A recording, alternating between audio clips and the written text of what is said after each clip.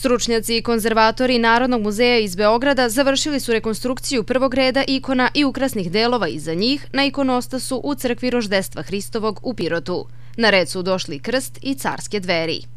Očekujemo da do nove godine bude gotov taj prvi red ikona sa najvećim brojem ikona, duborez celog tog gornjeg dela, krst, carske dveri i ja se nadam da će to za Božić biti to vidljivo, to je, to je prave veličini. Posao se odvija u etapama, a dalju dinamiku radova određuje i zatečeno stanje, s obzirom na to da je ikonostas star skoro 200 godina i da je na pojedinim mestima oštećen.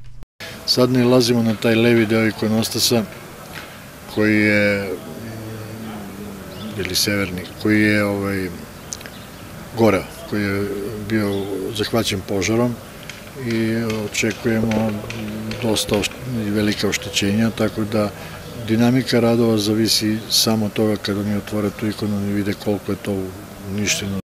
Najveći deo sredstava obezbeđen je iz budžeta grada. Ove godine za te namene izdvojeno je 7 miliona dinara. Podršku pruža i Niška eparhija, a sredstva doniraju i građani.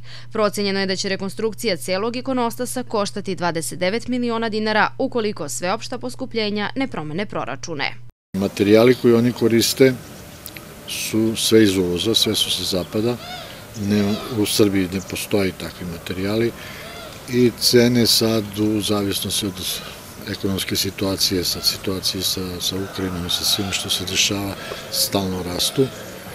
Naravno da i cene zlata, odnosno tih pozlata, to je pozlata tih listića koji se stavljaju, ove, ovaj, i one variraju, one su skoro 30% poskupilo u odnosu na prošlu godinu, a više od 50% u odnosu na ugovorenu cenu. Za sada nam oni ne menjaju cenu, i nadam se da će tako i ostati. Planom rekonstrukcije predviđeno je da ona traje pet godina.